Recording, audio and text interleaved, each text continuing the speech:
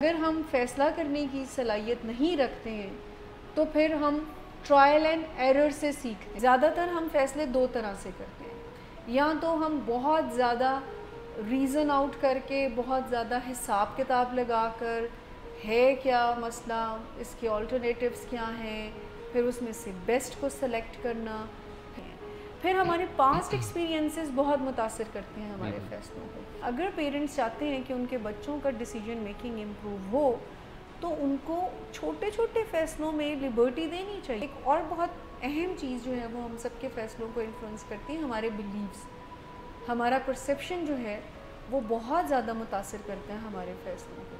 अगर आपकी ज़िंदगी में कोई बहुत ही अहम फ़ैसला करने का मौका है आपकी लाइफ में तो सबसे पहले आप ये आइडेंटिफाई करें कि आपका गोल क्या है उस फैसले को लेने what is your goal behind the decision second वो इन्फॉर्मेशन गैदर करनी है आप। फिर कॉन्सिक्वेंसेस को नंबर थ्री पर कंसिडर ज़रूर करें कि अगर मैं ये फ़ैसला लूँ तो इसके कॉन्सिक्वेंसेस क्या हो सकते हैं। अगर मैं ये फ़ैसला लेता हूँ तो इसके कॉन्सिक्वेंसेस क्या हो सकते हैं। एंड देन फिर एवेलुएट भी करना। फिफ्थ जो स्टेप है फोर्थ स्टेप है, वो ये है। फिफ्थ स्टेप ये है कि आप एवेलुएट करते हो कि आपने जो फ़ैसला लिया है तो ये ठीक लिया है। तमाम की तमाम एग्जेक्टिव स्किल्स आपको अच्छा डिसीज़न मेकर बनाती हैं।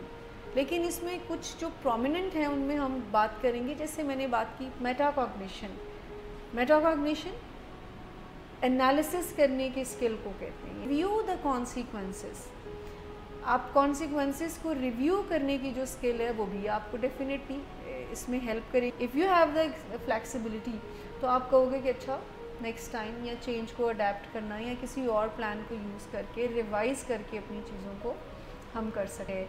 कि अटेंशन को फोकस रखने का एग्जेक्टिव स्किल भी हमें फैसले लेने में बेहतरी का फिर इमोशनल कंट्रोल का एग्जेक्टिव स्किल जो है।